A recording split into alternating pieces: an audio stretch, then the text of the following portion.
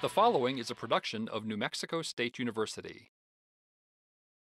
Scott McMahon, tree horticulturist at the Desert Botanical Garden in Phoenix, demonstrates water-efficient irrigation practices for trees and shrubs. Hi Scott, I'm glad to see Hi. you're irrigating outside away from the trunk, not in the watering well. Well, yes, that's what we like to do here. We like to bring the emitters away from the trunk after a period of time, and so the tree's roots will reach away and search for the water in order to stabilize the, the tree and keep it from blowing over. Yeah, windy environments like the Southwest create problems with that. If you just continue to water right here in the watering well, you keep the roots right here. Yes, exactly. That's what happens, and uh, and that's a that's a correction that people need to make after they've had their tree in the ground for a year or so. They need to keep on moving those emitter heads away from the trunk to force the roots out away from the trunk of the tree. And the implied point there is we do start with the water right where the root ball is. Yes. But then as the roots extend, we want them to grow. Here I see an emitter on the end of the line, but over here I don't see an emitter on the end of the line. Yes, what this is is a, uh, a head that uh, is right at the end of the tubing. And this kind is the one that can be cleaned out uh, because they do occasionally clog, uh, the holes being so small. So this one can be taken apart and flushed out. Uh, this tube, on the other hand, has a- an extension of a emitter that is buried in the ground. And this is uh, an advantage when you have animals that come by and periodically chew on the emitter tubing.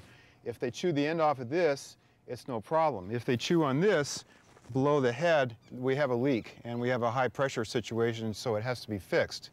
So if you've got animals doing some damage, this is the better way. If you've got clogging as a problem, this is the better way. If you've got both, you have to figure out which is your worst problem. Right. Any way you go, emitters are, are going to be need to they need to be maintained periodically. So even if your system comes on at night for convenience, what you need to do is turn it on uh, several times a year, and you need to check all the heads and make sure they're running, running properly in order to get a, a really efficient system. And the other thing we look at here is that we have plants that aren't isolated. There are other plants here and others in the distance. So these roots are going to find their way into the other areas that are irrigated. Yes, and especially with uh, mesquite trees because their roots do reach out quite a bit and they're used to doing that in habitat. Uh, they're used to gathering large amounts of water very quickly after a rain and drawing in as much as they can. So their roots will extend uh, way beyond the drip line in many cases. The same kind of system will work for shrubs too, won't it? Yes, and we do have some heads uh, installed over here on some shrubs.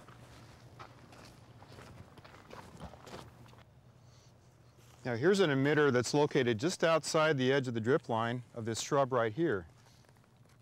This, this head has an output of one gallon per hour.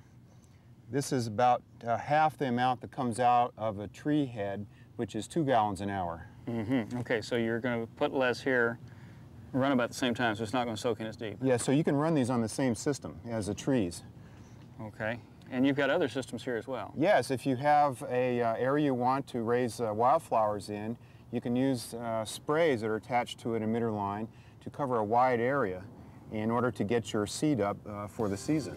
That's going to give you a little more evaporation, but it gives you a better coverage. Yes, and you won't want to leave it on as long as you would, say, uh, an emitter, which will uh, be two hours or four hours. This would be on maybe 30 minutes. just to moisten the soil shallow to get the seeds germinated. Yes, Scott, this is interesting. Thank you very much. you're very welcome. The preceding was a production of New Mexico State University.